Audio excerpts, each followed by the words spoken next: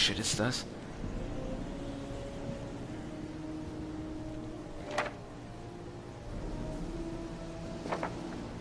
Wir haben nur den einen Punkt. Hinweise... Mehr haben wir nicht. Wir können das Ding ja nicht zumachen. Wir sind alles durchgegangen. Origami-Figur. Orchidee auch. Orchideen werden in der ganzen Stadt verkauft, haben wir ja schon geklärt.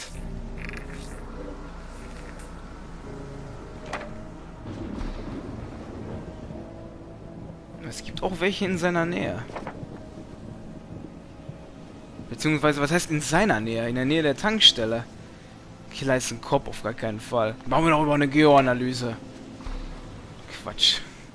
Oh! Kopf. Es gibt nur einen Kopf im Bereich des Geoprofils. Holy shit, ich habe einen Volltreffer gelandet. Ihm gehört ein Lagerhaus in den Docks. Wenn ich mich irre, ist Sean Mars tot.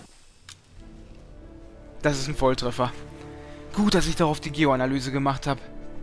Alle Cops in dem Bereich ist er durchgegangen. Puh, Glück gehabt.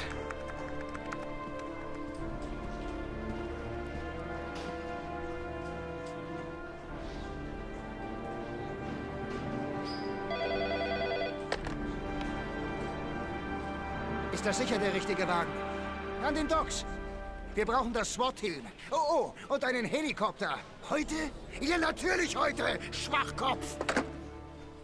Na geil. Jetzt weiß der auch davon Bescheid. Also wir gehen alle zu den Docks. Alle. Das ist auch genau in dem Bereich, wo ich Ethan hingeschickt habe. Ich will bei dir bleiben. Ich will nicht weg. Lauren, es sind nur ein paar Tage, bis hier alles geklärt ist. Ich soll warten, während du den Killer meines Sohns stellst? Es muss sein, Lauren. Glaub mir. Du bleibst bei deiner Mutter und ich hol dich, wenn die Sache hier gelaufen ist. Sag mir, wer der Origami-Killer ist. Wer hat meinen Sohn getötet? Hör zu, nicht mehr lang und ich werde dir alles, was ich weiß, erzählen. Versprochen. Oh! So weit sind die beiden schon.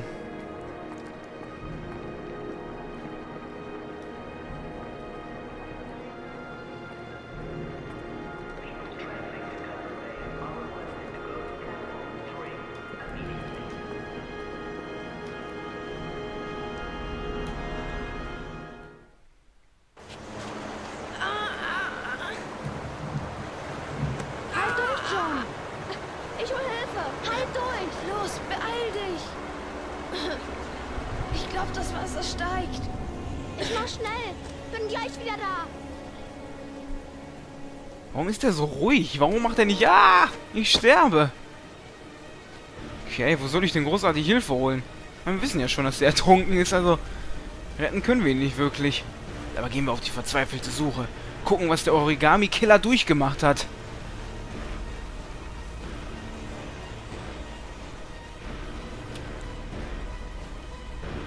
Ich kann nur zurückgehen zu seinem komischen Typen-Vater-Dingens. Das ist die einzige Hilfe, die wir gerade bekommen. Der sitzt da sogar, der Penner, und hat nicht geholfen. Oh mein Gott. Deshalb will wahrscheinlich der Origami-Killer testen. Dad, Dad, komm schnell. John steckt in einem Rohr. Er ertrinkt. Verschwinde, du Nervensäge! Das ist Ob die Väter was machen. Na los, John stirbt. John stirbt. Bitte. Ja, dann hätten wir ein Maul weniger zu stopfen, oder? Hau ab! Bitte, Dad, komm. Ich bitte dich.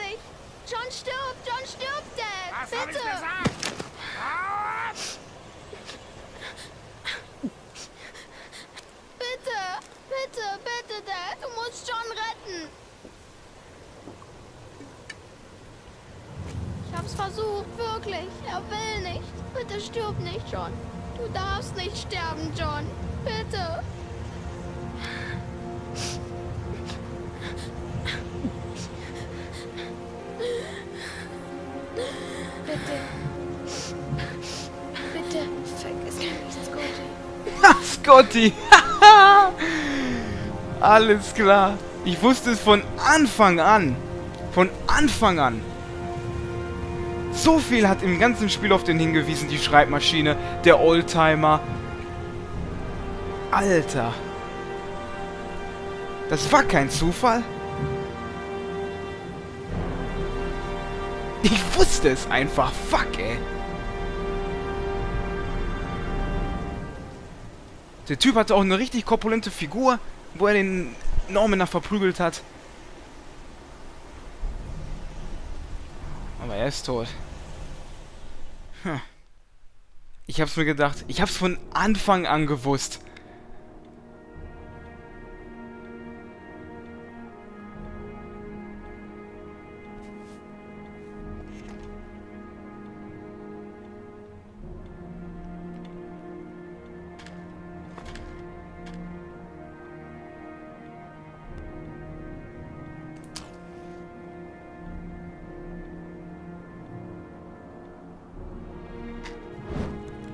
Oder verbrennt alles.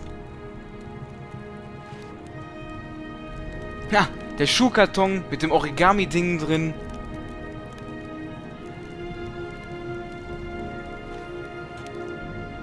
Der verbrennt gerade alle Hinweise. Lauren sitzt da ja immer noch.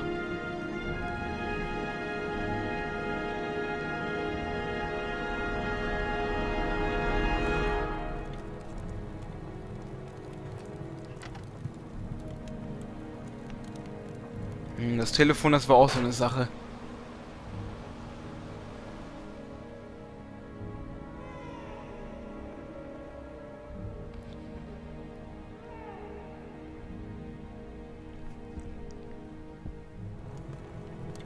Und der Schuhkarton. Aber Moment, der hat doch gar nicht den Schuhkarton dahin gesendet. Wenn er den Schuhkarton noch hat, dann kann er... Kann er Ethan den schlecht gesendet haben. Wer soll den dann sonst gesendet haben? Aber genau die Figur hat er auch bekommen. Jetzt bin ich verwirrt.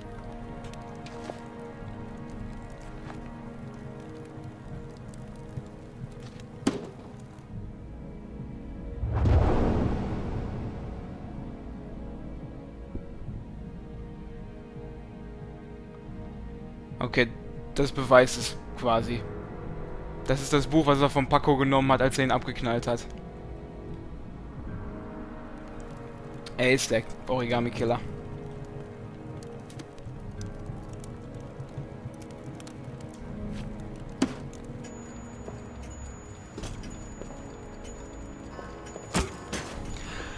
What the fuck? Er hat ihn gekillt?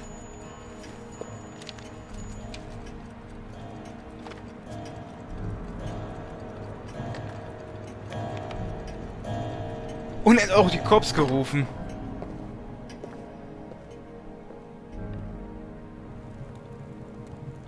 Absoluter Wahnsinn. Ich war von Anfang an davon überzeugt und ich hatte recht. Ich bin gerade richtig, ich weiß nicht, ein bisschen platt irgendwie.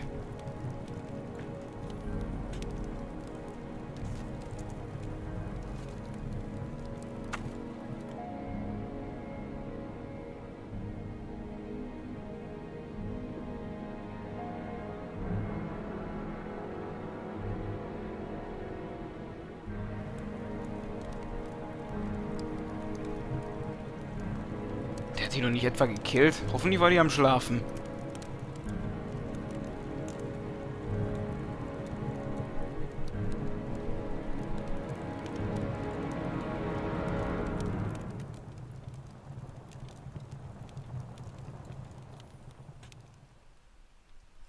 Krasse Sache.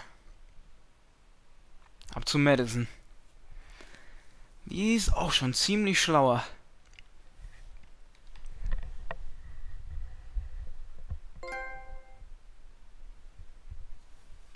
Streber.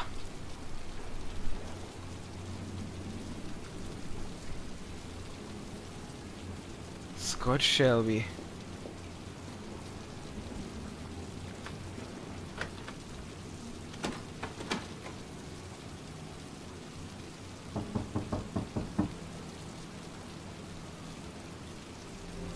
Oh, damit kennt sie sich also aus? Mal rein da.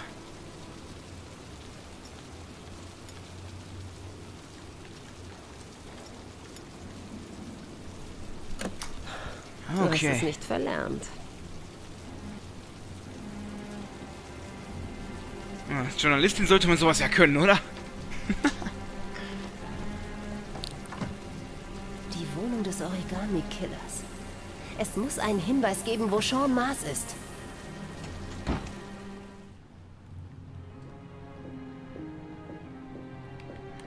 Hat alles Mögliche verbrannt, als wir da gerade saßen. Aber da liegt noch eine Akte.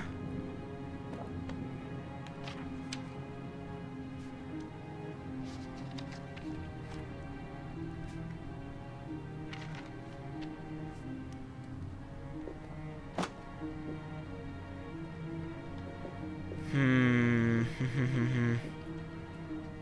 Vielleicht in den Schubladen?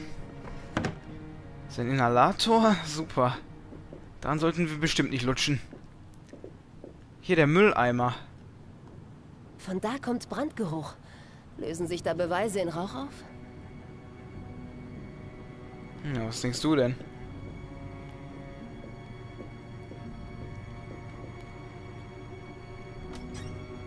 Eine Polizeiuniform. Dein Freund und Helfer. Deswegen sind die Kinder mitgegangen. Er war in Uniform. Gar nicht mal so dumm.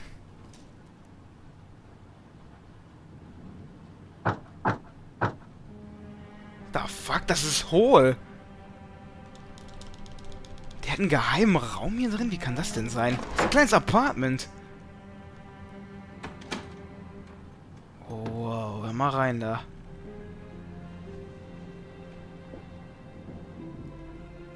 Und er züchtet dahinter Orchideen.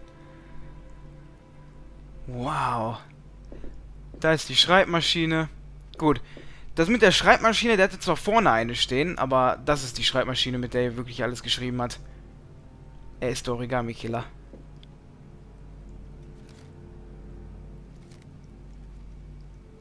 Wahnsinn, ich war von Anfang an darauf davon überzeugt. Von Anfang an. Die Schreibmaschine, die Boxen, aber der hat die Box ja nicht abgeschickt. Das ist es ja. Der hat ja die Box noch gehabt. Bis zum Schluss. Ja, diesen Brief hat Ethan bekommen. Sean Mars. Der Geisteskranke sieht ihm beim Ertrinken zu. Eine Art Schacht füllt sich mit Regenwasser. Er stirbt langsam durch den Regen. Oh, shit, ich brauche das Passwort. Was soll denn das Passwort sein? John, Regen, Orchidee. John. Falsches Passwort. Regen, Shepard. Was ist mit Shepard? Nö. Hm, Max. Jetzt habe ich Regen genommen. Oh. Wie viel Mal kann ich denn falsch eingeben? Nehmen wir Max. Ich hab Volltreffer. Max. So hat John als Kind die Papierhunde genannt. Was in aller Welt ist das denn? Eine Adresse. Da muss Sean Mars sein. Schnell, keine Zeit für Road. Fuck, wir sind voll richtig. Oh, da habe ich Ethan gut hingeschickt. ich hab voll geraten. Voll geraten. Sean könnte überleben. Das könnte alles noch ein Happy Ending nehmen. Los geht's. Wir warten nicht länger. Ach du Scheiße. Sie haben also mein Geheimnis entdeckt. Das war es, Gott. All diese Kinder mussten sterben, nur damit ein Vater seinen Sohn retten kann. Schnauze! Sie verstehen das nicht. Ein Kind ist noch übrig. Es bleibt noch Zeit, es zu retten. Tun Sie es, Gott. Tun Sie, was Ihr Vater nicht konnte.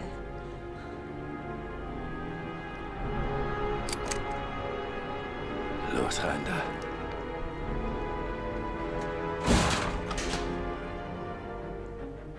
klasse. Wie zum Teufel sollen wir hier rauskommen? Irgendwas muss hohl sein.